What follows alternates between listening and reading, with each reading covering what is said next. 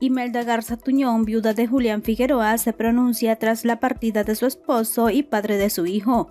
El lunes 10 de abril de 2023 se dio a conocer que Julián Figueroa había partido en su casa de la Ciudad de México. La noticia de la pérdida del único hijo de Maribel Guardia ocasionó gran conmoción entre propios y extraños, debido a que el joven tenía 27 años. Le sobreviven su primogénito José Julián y su ahora viuda Imelda Garza Tuñón. La joven quien está iniciando una carrera como cantante y es conocida como Imi Garza, había guardado silencio hasta ahora.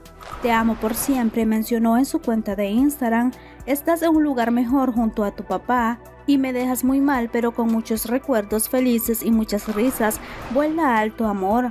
Acompañó este texto con una serie de imágenes donde se les ve disfrutando en diversos momentos. Este mensaje ocasionó las reacciones de los cibernautas nos dejas con un vacío, pero sobre todo con tantos recuerdos felices que harán que vivas por siempre con nosotros. Y me mi más sentido pésame, Julián era una gran persona. Mis oraciones están contigo y toda tu familia. Te mando un fuerte abrazo, lo siento mucho Imelda Tuñón. Todo mi cariño en estos duros momentos y no dejes a tu suegra que va a necesitar mucho de ti y tu hijo fueron algunos comentarios.